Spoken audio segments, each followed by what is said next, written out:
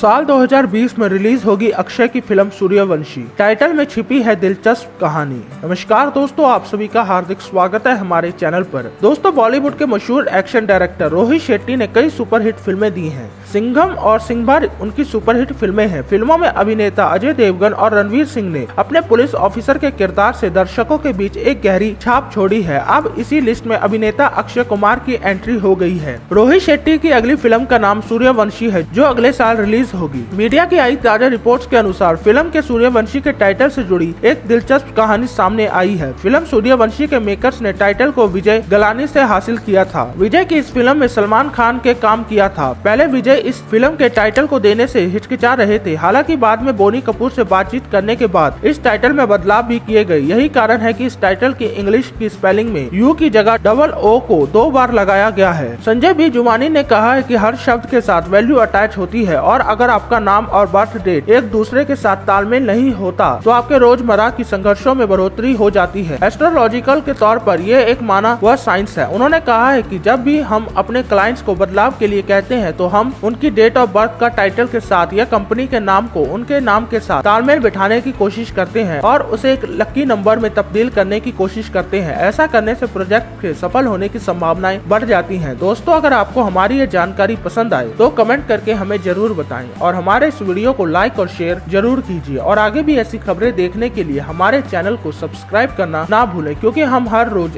ऐसी खबरें आपके लिए लाते रहते हैं धन्यवाद